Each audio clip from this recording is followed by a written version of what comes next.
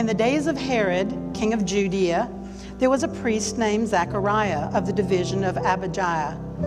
And he had a wife from the daughters of Aaron, and her name was Elizabeth. And they were both righteous before God, walking blamelessly in all the commandments and statutes of the Lord. But they had no child because Elizabeth was barren, and they were both advanced in years.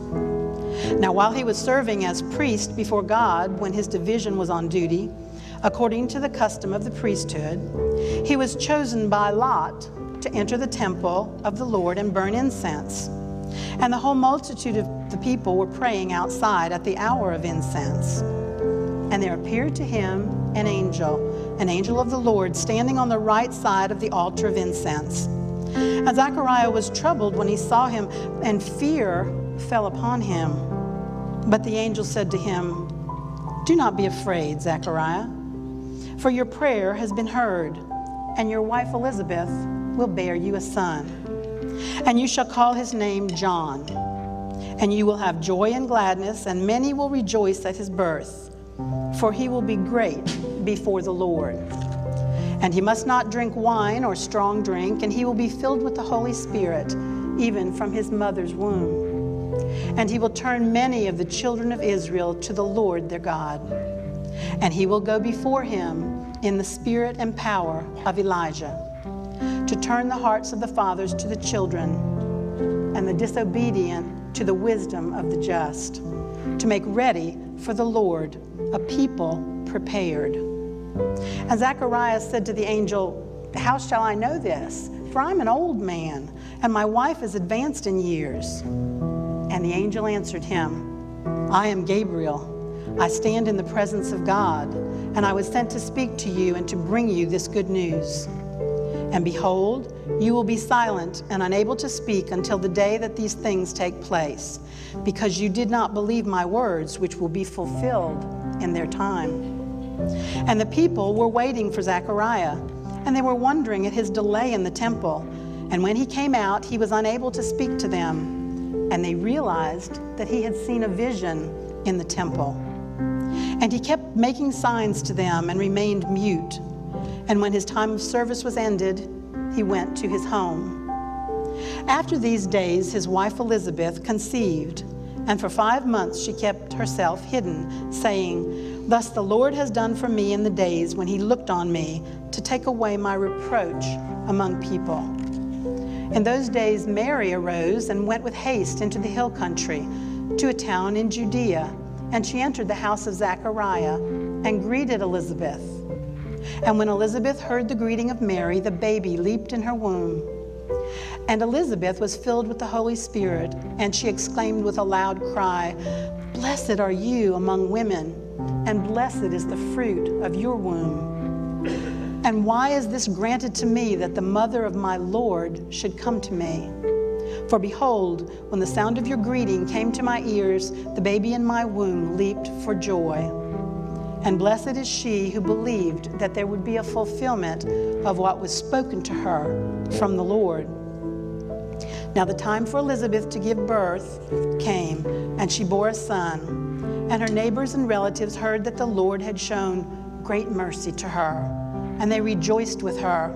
And on the eighth day, they came to circumcise the child. And they would have called him Zachariah after his father. But his mother answered, No, his name shall be called John. And they said, None of your relatives are called by that name. And they made signs to his father, inquiring what he wanted him to be called. And he asked for a writing tablet, and he wrote, His name is John. And they all wondered, and immediately his mouth was opened and his tongue was loosed, and he spoke, blessing God. And fear came on all their neighbors. And all these things were talked about through all the hill country of Judea, and all who heard them laid them up in their hearts, saying, What then will this child be? For the hand of the Lord was with him. All right, we're looking at Luke chapter 1 this morning. We're thinking about the, uh, the people who introduced Jesus to the world, those gospel writers, and we're looking at the first chapter in each one of their gospels. And so this morning, we're going to take a look at Luke. It is interesting, particularly for those of us who live in this area, that the number one historian, the number one storyteller for the story of D Day, the Normandy invasion, was not there during the Normandy invasion. In fact, Stephen Ambrose, who has gone so far as to write books, uh, he was so integral in the foundation of the D Day Museum. Uh, he helped to develop the, uh, the TV series, The Band of Brothers, that he is so central to that story, was eight years old when D Day occurred. But over the course of time, as he heard the story of those heroes that launched onto the Normandy beaches and worked across Europe in order to defeat Hitler, as he began to hear those stories, he said, I need to know more about those men and those women that made that happen. And so he began to spend his life gathering interviews, and he would begin to say, You were there? And he'd interview that person. Who else do you know that was there? And he'd get the names of some other people that he knew was there. And, and before long, he had interviewed hundreds and hundreds of veterans who had been on those beaches, who had been uh, across uh, Europe Europe uh, together and had been through the Battle of the Bulge and all of those things, even though he had not been there. In his mind, the story was so important, he said, I've got to make sure that this story is told for generations to come. The reason I say that is because there's a parallel between that kind of storying and that kind of historical response that what we find here in the book of Luke. You see, Luke was not one of Jesus' disciples. He was not inside of that inner circle. We don't know exactly what age Luke would have been at that time, but Luke becomes a believer in Christ probably through the ministry of Paul, hundreds of miles away from where the ministry of Jesus occurred. But I think what happens in, in Luke's life is that he begins to hear Paul and other believers tell the story of Jesus, and he begins to say, This story really, really matters. This is a really, really important story. And he begins to be curious about some of the details and what are those things going on. And in fact, one of the areas that he's curious about is all of the birth narratives and all of the stories and the visitations of the angels and stuff like that. He says, Tell me more about that. I need to know more about that. And so Luke begins with a sense of curiosity, and then he becomes a person who interviews the eyewitnesses' account. As he says here in the passage, he says, I want to give you an ordered account of the things that happened in Jesus' life because he knew that this is a story that needed to be told from now until the end of time. He began with curiosity the center of it is these interviews that he does with the people who are there, and he puts together an orderly account. But it also tells us in verse 4 that the reason why he did this is so that you may have certainty in what you believe. Now, I love that journey that Luke takes us through from curiosity to certainty. These are the things that you need to know about Jesus. Here's the things that you wonder about, but I'm going to tell them to you so that at the end of this story, you can say, I know that I know. I love the story that Luke tells us. I love Luke's purpose in telling that story. Now, as Luke tells the story, he has to capture this really two level history that's going on. There's the history of the things of God that, that is up here, and then there's the history of, of, well, the regular people here on earth. And the whole Christmas story is that Jesus is going to be the bridge between the things of God and the things of us. That's the whole story. God becomes man and dwells among us. That's next week. But God becomes man and he dwells among us here in this place. Jesus is that bridge. But as he tells the story, some of it's got to be from heaven, and some of it's got to be right here. And as, this, as he tells the story, he turns the camera, so to speak, to two people right here on earth Zechariah and Elizabeth. Now, Zechariah is a priest but what is really important about this passage in verse 6, it tells us that Zechariah and Elizabeth were righteous people, blameless in all of their ways. Man, How would someone describe you this week? A- anybody been described as, as blameless?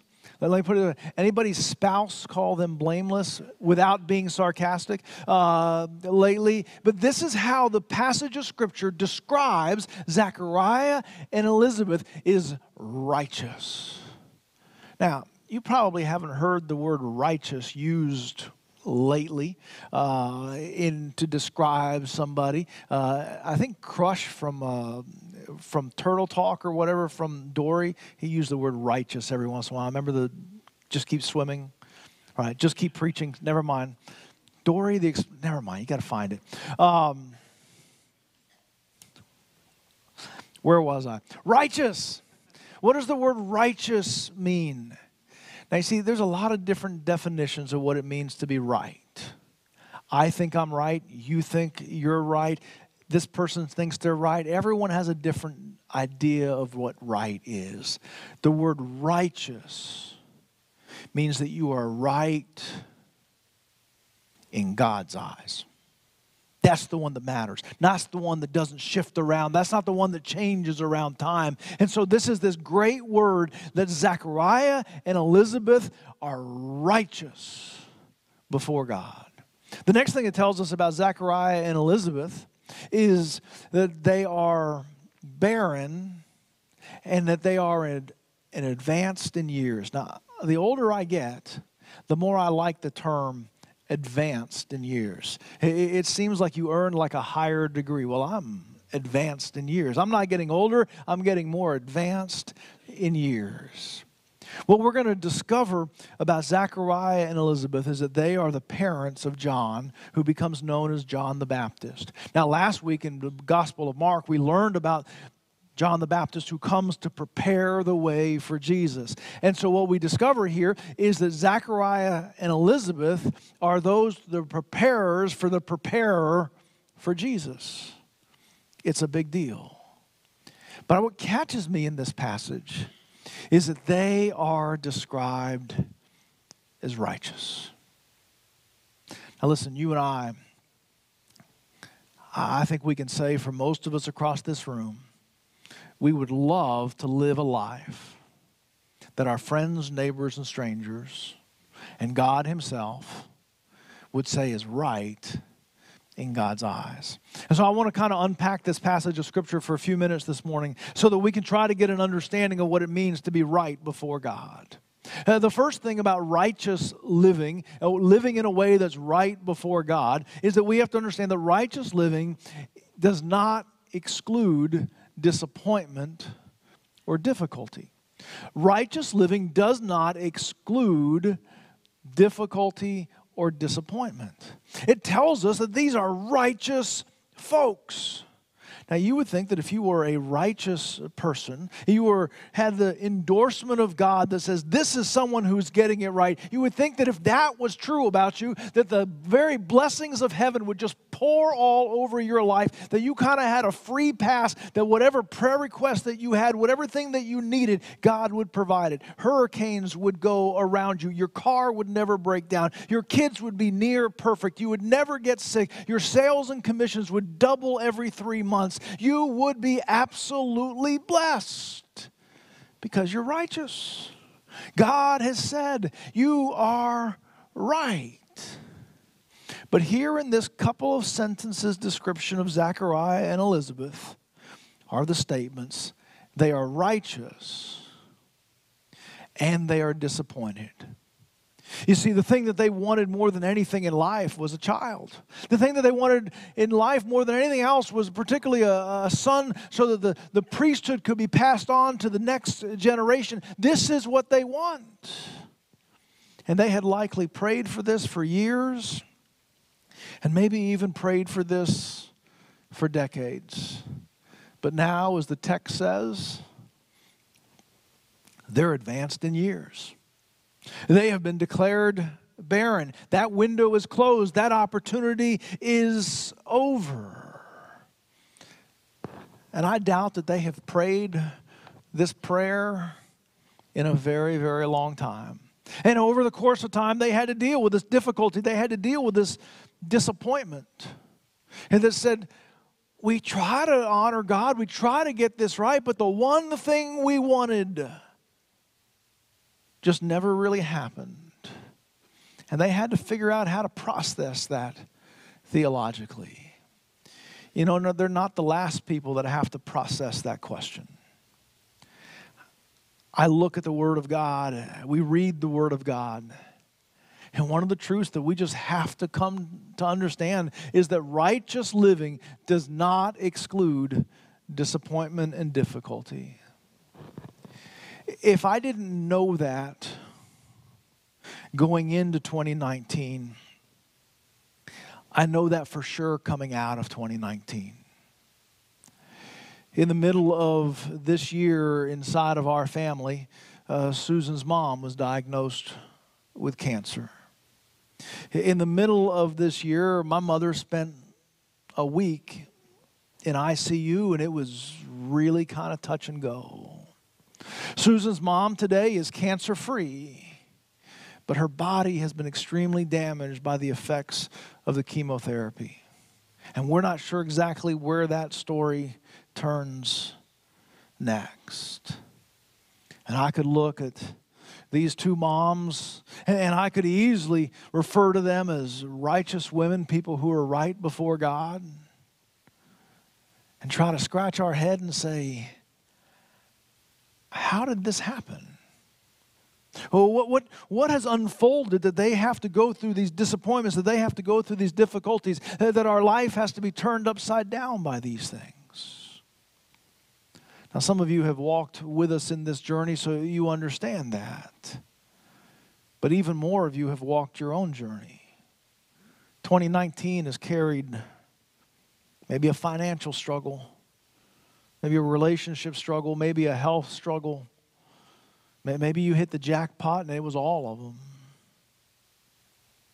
And you thought, man, I've tried. I've tried to get it right. Why is this happening to me? In fact, you, you take a look at your circumstances and say, Where is my best life now?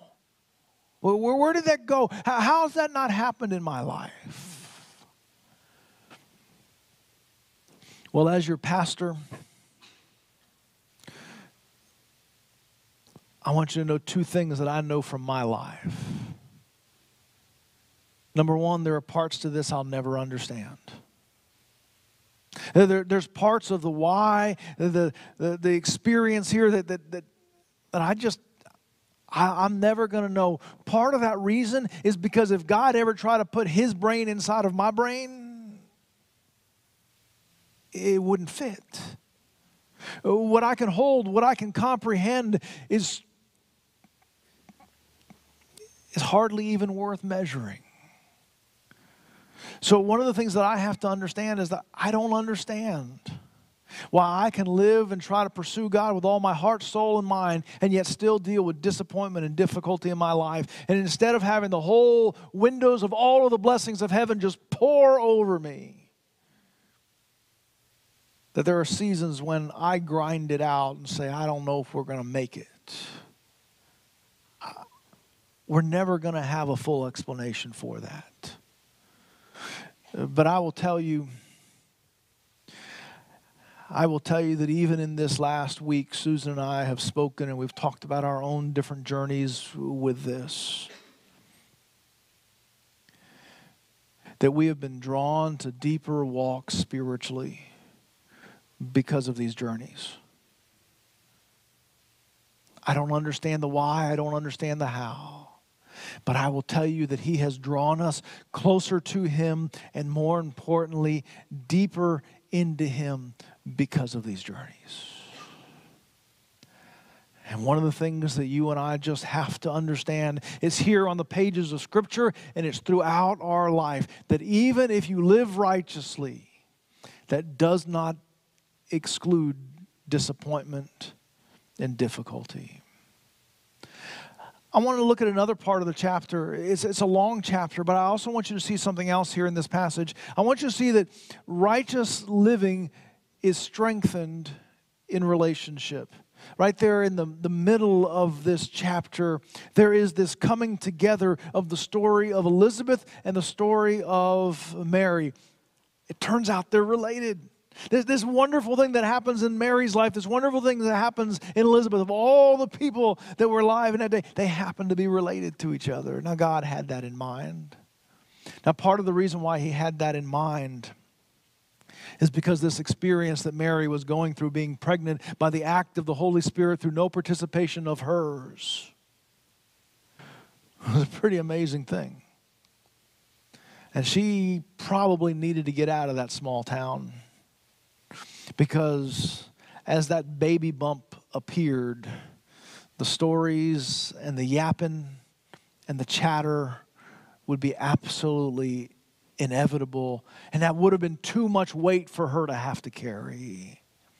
And so she goes to find a safe place, which happens to be this older relative, Elizabeth. And she comes and she comes into her home and finds safety in this godly, righteous woman's home. Elizabeth, on the other hand, can you believe what has happened in her life? In her advanced years. In the midst of her barrenness, God has given them a child. Who exactly is she going to explain that story to? Well, maybe someone who has experienced an even greater miracle inside of them. And so there, there is the drawing together of these two characters who their personal journeys, their personal faith are going to be strengthened by their relationship with one another. Let me tell you, I think that one of the great missing ingredients of faith today, of faith experience today, is that we have not learned how to live our lives intertwined with each other so that our personal faith and our personal journey is strengthened through relationship. Man, what, what happened in Mary and Elizabeth's life was so profound in each other's life because they had each other. I believe it's one of the great things that's missing so many times in our lives is that we need to have people in our life that we don't just know, but that we can lean deeply into to grow and to develop our faith. We need to understand that we are rubbing off on people for good and for other. But understand, you, you in the last week have rubbed off on some people. Now, someone may say you rubbed people the wrong way, and that, that may have happened, but, but you have rubbed off on someone. You have left the residue of your life, of your faith, and your spiritual vitality or lack of vitality. You can see the footprints where that's been left, the fingerprints of that everywhere you've gone this week.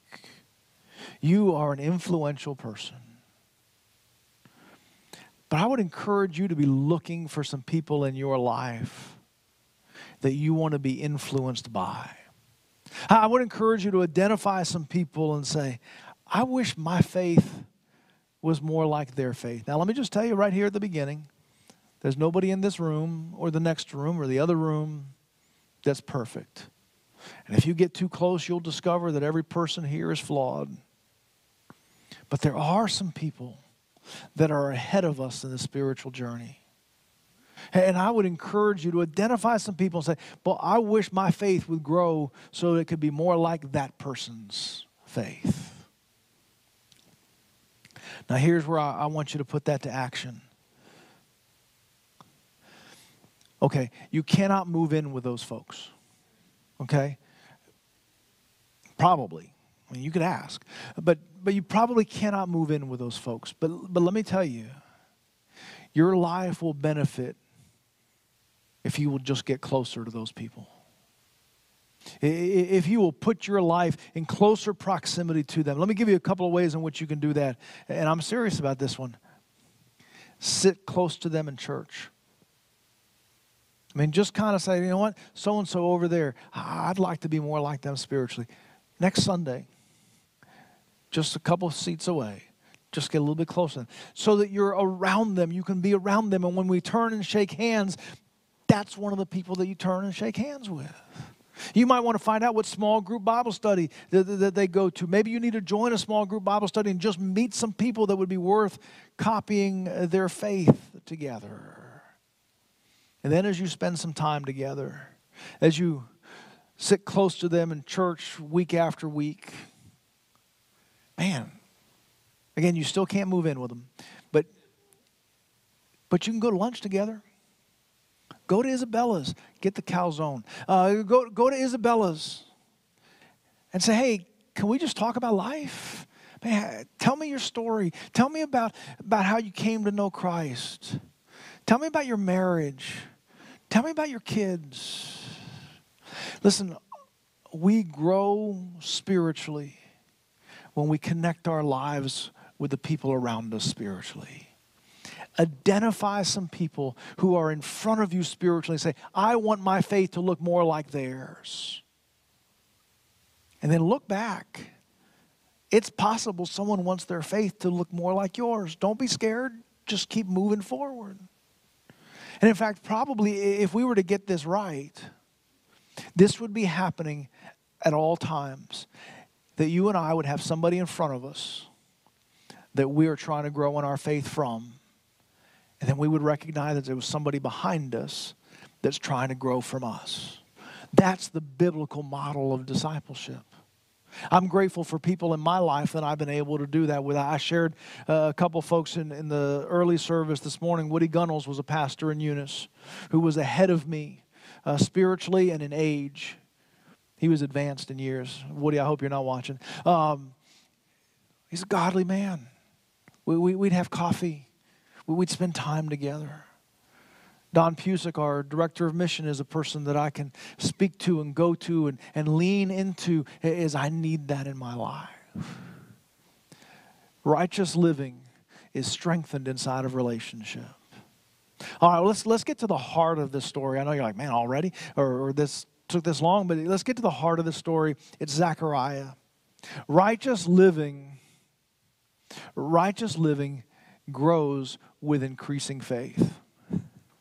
Here's the moment. Zechariah is in the Holy of Holies. He's in the temple. One time a year, one of the priests is selected to go into the Holy of Holies, the most sacred spot on earth, to offer up a sacrifice for all of the people. I mean, this is a really, really big deal. One time a year, one person gets to do this. Zechariah is doing it. Here he is in this moment, and then, wow, an angel of the Lord appears to him and says, Your prayer has been answered.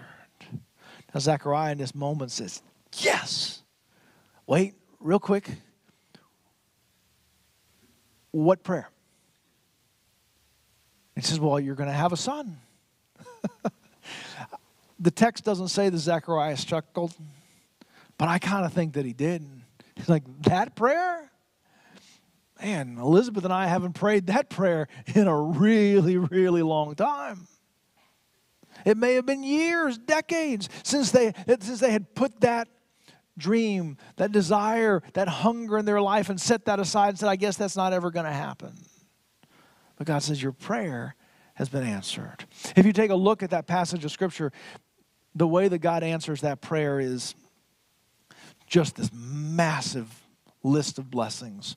Read it. You're going to have a son. He's going to bring you joy. He's going to be the celebration of all the people around you. He's going to be full of the Holy Spirit. He's going to have the power and the authority of Elijah. He's going to turn people to God. He's going to bring revival inside of families. All of this is fabulous. It's, it's incredible as you read that list and read that as a parent and say, This is what the angel of God says is going to happen in your life. Oh, man, it's, it's everything. And Zechariah says, Yeah, but how will I know? And Gabriel almost to a word says, Well, maybe an angel straight from heaven would come and tell you in the middle of the Holy of Holies. I mean, uh, would that work? I mean, do you want a selfie here at this moment? It's happening right now. This is the moment. This is how you know. An angel from God shows up and tells you. And it's too much for Zechariah. And because of his disbelief, the angel says, You will not be able to speak. Now, I have some sympathy for Zechariah in this moment. I mean, don't you? I mean, that's a lot that's coming at him all of a sudden.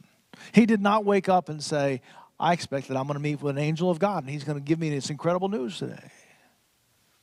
It was physically impossible for him to have a child.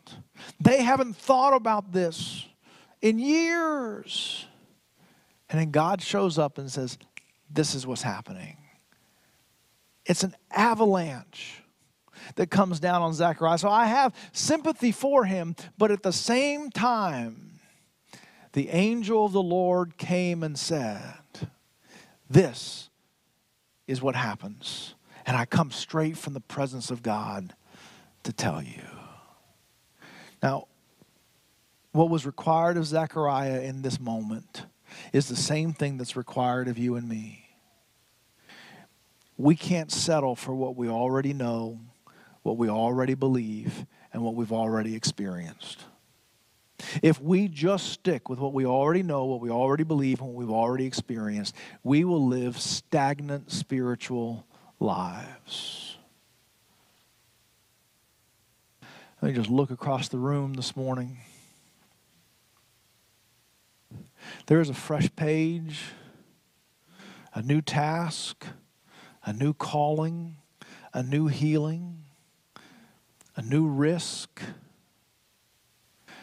that God has in store for every one of you that's living and breathing. But we miss it so often because, like Zechariah, we're like, what? We only want to, we only want to experience, we only want to deal with what we already know, what we already believe, and what we've already experienced. And God says, no. Wherever you are today, I want to move you to the next place. I want to increase your faith. I want to increase your depth. I want to increase the width. I want to create the height. I don't want to leave you where you are today. I have new things for you. Oh, church, I, I pray that as we finish 2019, as we move into 2020, that you will be ready for some things that you cannot even imagine inside of your life, inside of your family, inside of your church, and inside of your community. God said, I, I got new things. Man, maybe you've never connected your faith and your finances before. Uh, maybe you've not pursued a relationship with someone who could be a spiritual mentor in your life. Maybe you've never been plugged into small group Bible study, or it's been a long time since you've been plugged into small group Bible study. Maybe if you've been a regular part of small group Bible study for a long time, maybe it's time that that you taught a small group Bible study. Man, I don't know what it is. Maybe you're supposed to get in that choir. Maybe you're supposed to share your faith with three different people in the next month. I don't know. But I know that what God has in store for you is more than what you know, what you believe, and what you've experienced so far. He has a new day waiting for you. And it's going to take faith. Because faith says, I receive what I cannot understand. And for Zechariah, this avalanche came on him. And the call on his life was you've got to believe it even though you don't understand it.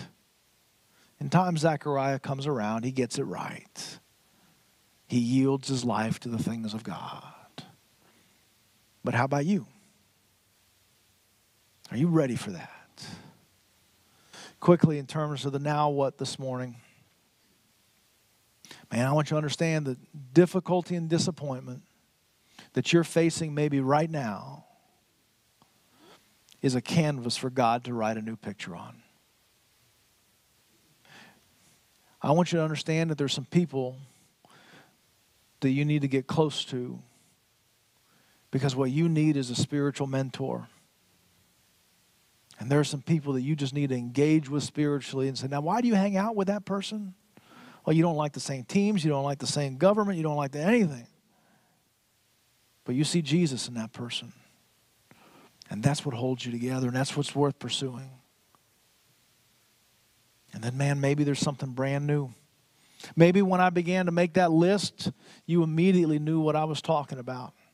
Hoo hoo. You ready to accept that in faith? Man, if the angel of the Lord just came and told you, are you ready to accept that in faith? Or do you need to just have a moment that says, listen, there's going to be a holy, a holy moment when God nudges you to what's next. Are you going to be ready for that? Let me pray for you. Our Heavenly Father, Lord, we want to get this right. Not right in my eyes, not right in my neighbor's eyes, not right in anyone else's eyes. I want to get this right in your eyes. And so, Lord, man, I want to lean into you. Lord, I want to be able to walk this difficult patch of the journey, trusting you and seeking you. Lord, I, I want my relationships to mirror my desire to follow you. And Lord, it scares the daylights out of me. But I'm ready to grow to the next place in my walk with you.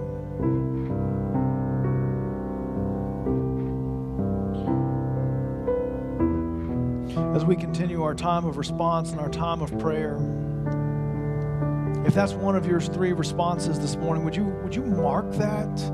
Maybe just coming to the steps and praying this morning. Lord, I, I yield my difficulty to your masterpiece.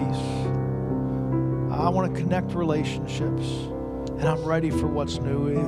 If that's what is yielding, that's what's happening in your heart, would you, would you mark this moment in just a moment by coming to kneel at the steps?